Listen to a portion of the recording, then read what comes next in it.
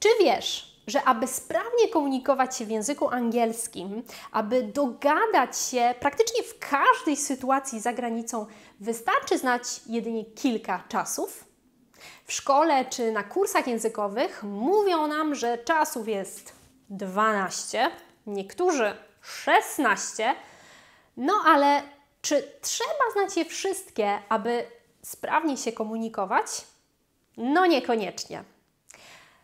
Kramski z Uniwersytetu w Pradze w 1969 roku przeprowadził takie badania, które miały na celu sprawdzić, ile tak naprawdę czasów e, używamy w takiej codziennej komunikacji w mowie.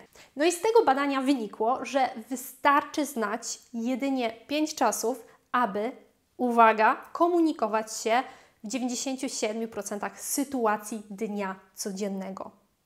Mało tego, już sama znajomość i oczywiście praktyczne użycie trzech angielskich czasów spowoduje, że poradzisz sobie w 85% sytuacji, a znajomość czterech czasów w trochę ponad 90%.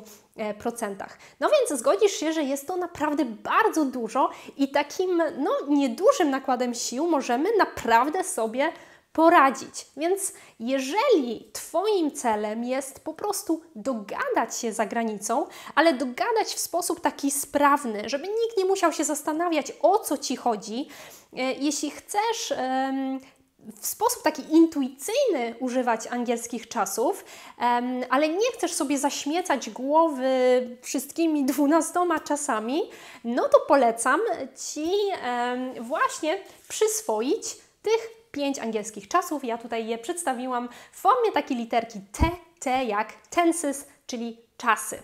No dobra, zaczynamy. Jakie są to czasy? Te czasy użyłam w taką literkę T, T jak tenses, to jest taka moja metoda i tak jak widzisz, do tych czasów zaliczają się czasy simple, past simple, present simple i future simple, czyli czasy proste, proste jak drut, simple i zaraz zobaczysz, że one są rzeczywiście proste. Jeden czas continuous jest to czas present continuous, czyli czas ciągły i czas perfect simple albo simple perfect. Um, I teraz tak, tego czasu perfect simple nie będę omawiać, mam na ten temat e, dosyć dużo filmików. E, I mm, pod tym filmikiem dam Ci linki do filmików na temat e, czasu Present Perfect, aby rozwinąć ten temat.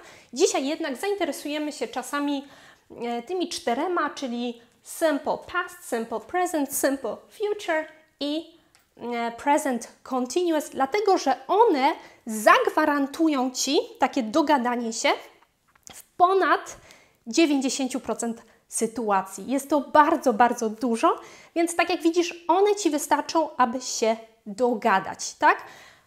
Nie są one wystarczające, aby swobodnie, płynnie um, komunikować się w języku angielskim, ale jeśli chcesz się dogadać, jeśli chcesz, żeby to było poprawne, jeżeli chcesz, aby inni Cię zrozumieli, no to te czasy jak najbardziej wystarczą. I teraz tak, czym się charakteryzują takie czasy simple? Widzisz, sama nazwa simple wskazuje, że jest to coś prostego i rzeczywiście te czasy są proste. Te czasy to są czasy typowo informacyjne. One nas informują o tym, co zrobiliśmy, co robimy i co będziemy robić. I tutaj my informujemy o suchych faktach. My się nie koncentrujemy na tym, jak długo coś trwało, czy jest jakiś rezultat, czy nie ma. Nie. Interesuje nas suchy fakt. Mówimy o tym, co było, minęło, tak? Skończona akcja, było, minęło. E, o tym, co robimy ogólnie, generalnie, czyli o naszych e, takich, e, o, o naszej rutynie, o tym, co się powtarza, o naszych nawykach i co zrobimy. I teraz tak, czas past simple e, to jest czas, którego używamy, kiedy chcemy powiedzieć, że zrobiliśmy to i to. I my po prostu informujemy, że zrobiliśmy daną czynność. Nie skupiamy się, pamiętaj, na tym, jak długo to trwało. Na przykład, jeśli chcę powiedzieć, że y, oglądnęłam jakiś serial, to właśnie mówię, słuchaj, obejrzałam ten serial. E, chyba tak powinnam powiedzieć w sumie. Obejrzałam, nie oglądnęłam. Um, obejrzałam ten serial. Czyli skupiam się na fakcie, tak? Że ja po prostu widziałam ten serial. Kontra, uwaga, oglądałam ten serial. Tutaj bardziej się skupiam na mm, długości tej czynności.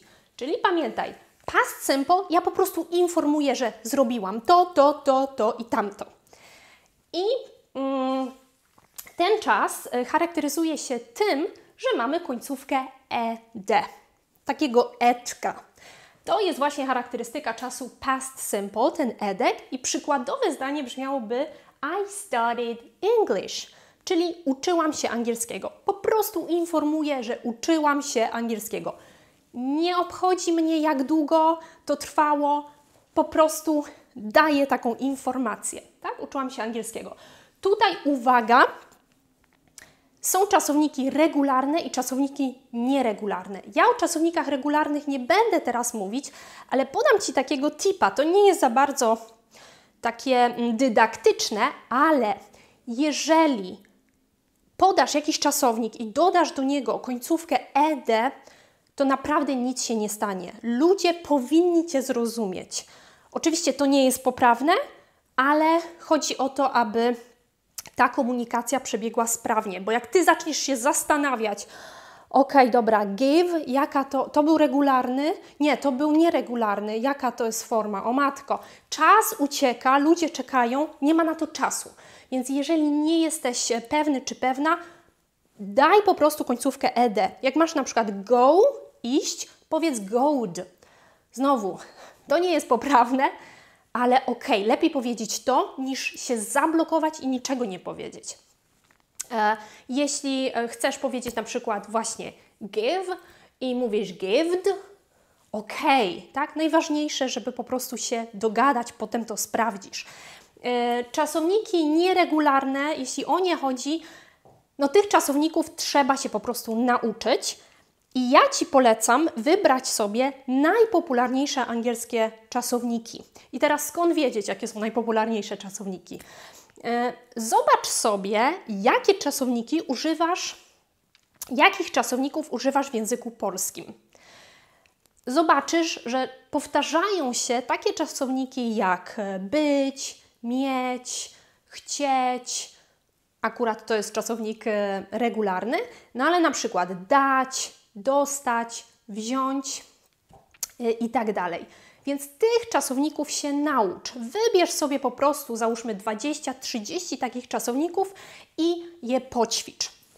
Mm, przechodzimy teraz do czasu present simple. Present simple to jest akurat najprostszy e, czas. E, no może nie, bo future simple jest najprostszym czasem, ale on jest e, prosty, jeśli chodzi o zrozumienie, bo ten czas kiedy właśnie stosujemy ten czas? W takich sytuacjach, kiedy mówimy o tym, co się powtarza, o tym, co robimy tak ogólnie. Czyli na przykład I study English, uczę się angielskiego, czy studiuję angielski, oznacza to, że ja generalnie, ogólnie uczę się tego języka. Na przykład nie interesuje mnie, że w tym momencie, że teraz, nie, po prostu uczę się tego języka. E, jakbym powiedziała na przykład uczę angielskiego, to bym powiedziała I teach English, bo to jest rutyna, to jest coś, co się powtarza. Ja ogólnie uczę angielskiego, bo jestem nauczycielką angielskiego. Tutaj uwaga, kiedy mamy he, she, it, czyli on, ona, ono, dajemy końcówkę s. I to jest taki wyjątek. Czyli na przykład gdybyśmy mieli ona uczy się angielskiego, czy studiuje angielski, mielibyśmy she studies English albo she teaches English. Następnie mamy czas future simple. Ten czas jest czasem najprostszym, dlatego że wystarczy dodać will. Uwaga na wymowę, mówimy will, ok? Will. Trochę tak jak y po polsku, nie i bo kiedy powiemy i, wyjdzie nam koło, a to jest całkiem inne słowo. nawet mi się zrymowało. I will study English, czyli ja będę uczyć się angielskiego, ale w sensie nie, nie chcę skupiać się na tym, że to będzie trwało. Ja po prostu daję informację, tak, że ja um, będę się uczyć e, angielskiego. Ja coś zrobię, tak? I will do it. Więc e, bardzo, bardzo prosty czas. Wystarczy wstawić will, a potem obojętnie jaki czasownik. Bardzo fajny czas. I to są czasy Simple, pamiętaj, czasy typowo informacyjne. Nie skupiamy się tutaj na żadnym um, trwaniu czynności, na tym, jak dana czynność trwała, czy był jakiś rezultat. Nie, po prostu suchy fakt. Ok? Suchy fakt. Czasy typowo informacyjne. Czas continuous, przede wszystkim present continuous, bo on jest takim czasem najczęstszym. Czasy te tutaj nawet masz taką e, strzałkę, one się koncentrują na długości trwania czynności. Sama nazwa continuous, prawda? Continuous, coś się kontynuuje. E, I e, ten czas charakteryzuje się tym, że mamy odmieniony to be w czasie teraźniejszym, czyli I am, jestem, you are, jesteś, she is, ona jest, he is, on jest, it is, ono jest, we are, my jesteśmy, you are, wy jesteście, they are, e, oni są. I czasownik z końcówką ing. Tutaj uwaga, zauważyłam, że bardzo dużo osób zapomina odmienić ten, mm, ten czasownik to be. I teraz uwaga, drugi raz mówię uwaga chyba. Jak e, zapomnimy odmienić to be, no to my nie wiemy, kiedy to się dzieje. Bo popatrz, tutaj mamy I was, tutaj mamy I will be, więc trzeba to odmienić. Czasowniki, e, czasy continuous, one mają dwa końce. Czyli z jednej strony mamy to be, a z drugiej strony mamy ing, ok? czasownik z ingiem. Najprościej sobie to zapamiętać, kiedy przetłumaczysz to zdanie na polski. Ja tak właśnie nauczyłam się tego czasu, to znaczy nauczyłam się tej formy i nie zapominałam o to be, bo sobie po prostu to tłumaczyłam jako ja jestem robiąca. Ja jestem I am, ty jesteś you are, ona jest she is. Dlaczego robiąca? Bo ten ing tłumaczy się jako oncy, onca, once. To jest coś aktywnego. Ja jestem teraz czytająca, I am reading. Ja jestem teraz mówiąca, I am talking. Ty jesteś słuchający, słuchająca, you are listening. Oczywiście po polsku tak się nie mówi, ale najważniejsze, żeby zrozumieć, o to chodzi. Więc mamy ten czas present continuous, e, present perfect, jego akurat tutaj nie będę omawiać, więc e, jeżeli znasz te cztery czasy, tak jak powiedziałam wcześniej, poradzisz sobie w ponad 90% sytuacji. To jest mega dużo. Teraz to, co musisz zrobić, to te czasy wyćwiczyć, nauczyć się e, pytań, nauczyć się przeczeń, bo tutaj pokazałam Ci tylko zdania twierdzące, żeby Cię nie e, przeciążać tymi informacjami. Musisz poznać takie najważniejsze wyjątki, tak? Na przykład tutaj będzie S przy she, he, tutaj są te czasowniki e, nieregularne. No, musisz opanować najważniejsze czasowniki nieregularne, po prostu to wyćwiczyć, tak? No bo od samego słuchania, jak wiemy, nie nauczymy się mówić, a język służy przede wszystkim do komunikacji. I teraz słuchaj, jeżeli chcesz zacząć intuicyjnie stosować pięć najważniejszych angielskich czasów i dogadać się aż w 97% sytuacji, to serdecznie zapraszam Cię na warsztaty online, na których poćwiczymy w mowie Czyli nie będzie to teoria, tylko przede wszystkim ćwiczenia e, w mowie e, i poznasz oczywiście wszystkie te mm, angielskie czasy, ale tutaj nacisk jest naprawdę na tą praktykę, dlatego że tego właśnie brakuje w szkołach, brakuje nam nawet w takiej um, samodzielnej nauce tych ćwiczeń, ale uwaga, nie ćwiczeń gramatycznych z książką, tak, tylko ćwiczeń właśnie na mówienie, żeby w końcu zrozumieć te czasy, żeby zacząć ich intuicyjnie używać w sposób taki bardziej naturalny, no i żeby w końcu dogadać się e, za granicą, tak? Dogadać się z obcokrajowcami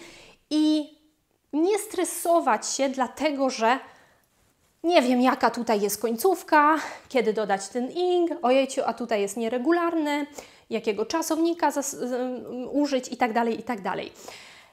Uwaga, liczba uczestników jest ograniczona, więc kto pierwszy, ten lepszy. Jeżeli te warsztaty Cię interesują, to pod tym filmikiem znajdziesz link, sprawdź sobie ofertę. No i być może zobaczymy się na warsztatach, będziemy działać, no i w końcu zaczniesz swobodnie, zaczniesz intuicyjnie przede wszystkim używać angielskich czasów. A w kolejnym odcinku pokażę Ci te cztery angielskie czasy na linii czasu, na timeline, żeby mm, zobrazować, jak one właśnie się przedstawiają w czasie, żeby jeszcze lepiej je zrozumieć. Linia czasu jest naprawdę bardzo, bardzo pomocna, jeśli chcesz nauczyć się angielskich czasów, jeśli chcesz je przede wszystkim zrozumieć, bo uwaga, angielskie czasy trzeba zrozumieć, a nie uczyć ich na pamięć. Także do zobaczenia w kolejnym odcinku. Trzymaj się. Cześć!